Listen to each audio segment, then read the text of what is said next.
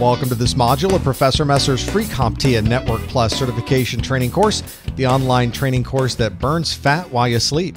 I'm James Messer, and in this module, we're going to talk about device security. This is from N10 004, section 6.5 we need to explain issues that affect device security. So there's physical security, there's restricting local and remote access to our network, and there are some methodologies that are secure and some that are unsecure. And we're going to talk about the different applications and the different protocols and why they're secure and why they're unsecure.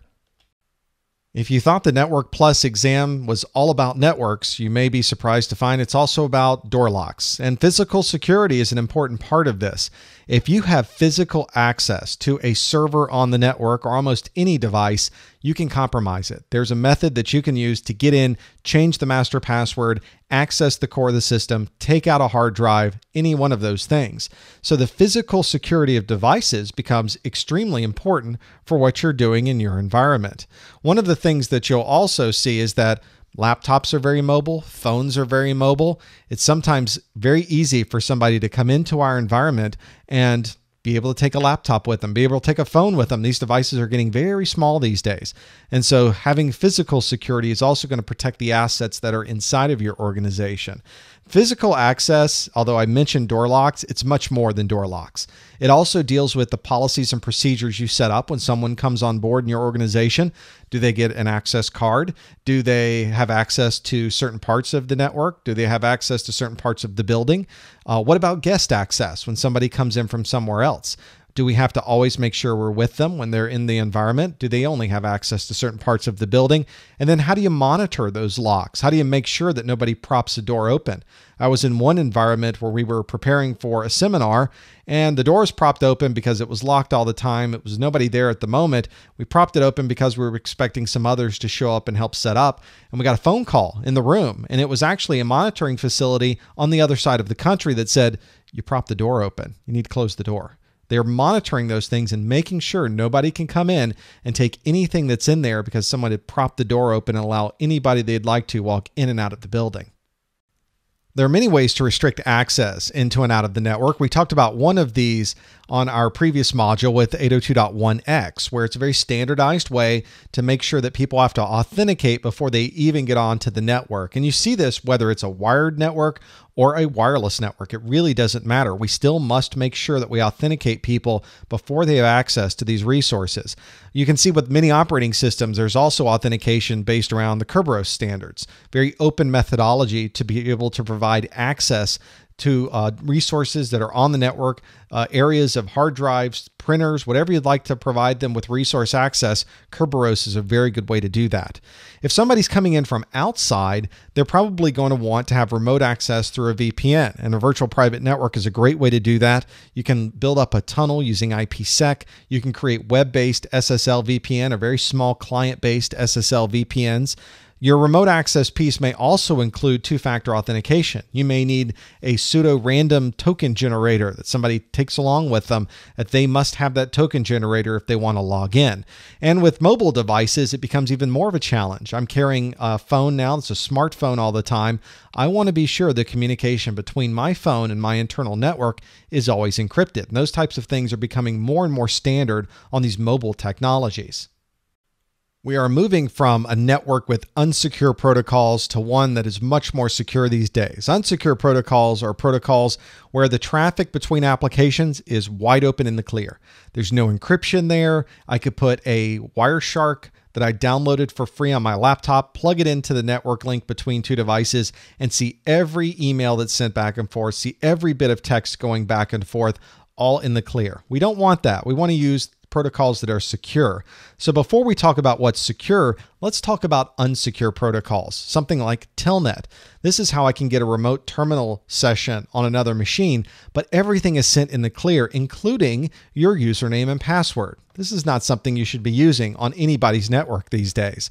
Another very unsecure protocol is HTTP.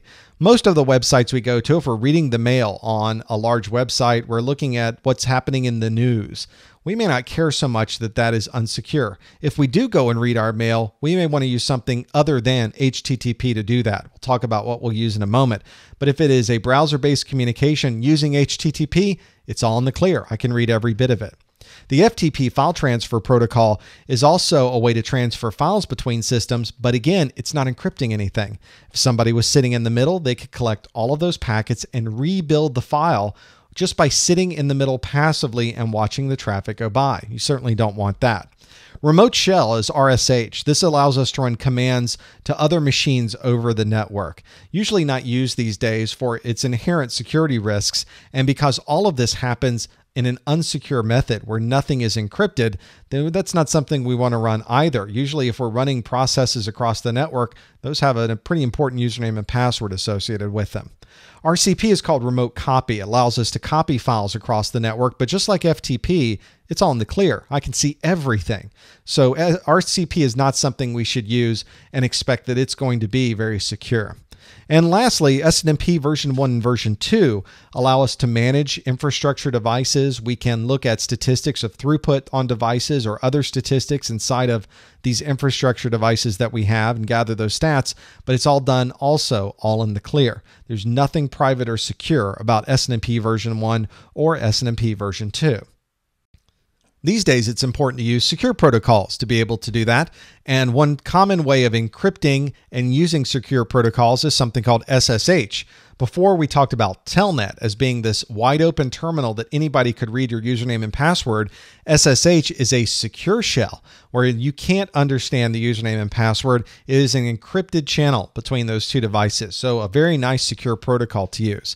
If you're on a website and you would like to read your mail, you would like to use HTTPS. That is secure HTTP. If you ever see the lock at the bottom of your browser, if it's unlocked, you're using HTTP. If it's locked, then you're using HTTPS. And so you'll know it's encrypted every time you see that lock and it's in place. That is an encrypted link between you and that web server. SNMP version 3, we talked about SNMP version 1 and 2 on the last slide. Version 3 came out and said, you know what? We should be encrypting this stuff. We should be much more secure with how we're sending this information back and forth to our infrastructure devices. And Simple Network Management Protocol version 3 does exactly that. SFTP allows us to do remote file management and it uses the SSH protocol to do this. So now I can really manage my files. I can upload files, get a listing of files, download files. It is all encrypted. Nobody can go into those files and rebuild them after the fact. And lastly, SCP, which is a simplified way to just copy files. And that copy methodology also uses SSH. SSH is a really nice, well made, robust way to encrypt data back and forth. So it makes sense these other applications would take advantage of that secure, secure shell protocol. Let's review what we've learned about device security. Our first question is What security component can address unauthorized visitors in secure areas of a building? Well, that would be our physical access. We want to be sure we know where our visitors to the building are at all times. And if they're going into a secure area, we need to know the policies and procedures for that. Next question What common encrypted tunnel is used for remote access to a network? Well, a very common encrypted tunnel to be able to do that is something called a virtual private network or a VPN becomes extremely useful when you're trying to get remote access somewhere but still be secure. And lastly, which is more secure, Telnet or SSH? If you recall from our listing of protocols, you'll know that Secure Shell SSH is certainly the most secure you can have of those two, Telnet being completely in the clear.